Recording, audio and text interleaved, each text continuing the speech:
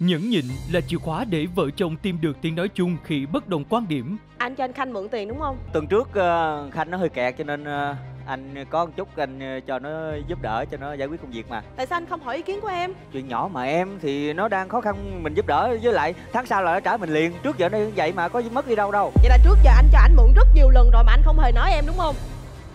Tuy nhiên, mỗi cá nhân đều có giới hạn riêng mình mà nếu đối phương không điều chỉnh sẽ khiến hôn nhân dễ có những xung đột nghiêm trọng.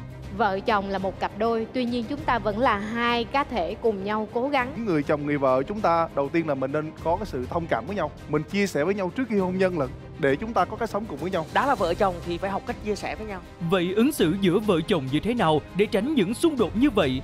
Đón xem chương trình Quyền năng phái đẹp, chủ đề Tức nước vỡ bờ, phát sóng lúc 19 giờ 15 phút thứ sáu ngày 5 tháng 4 năm 2024 trên kênh truyền hình Vĩnh Long 1.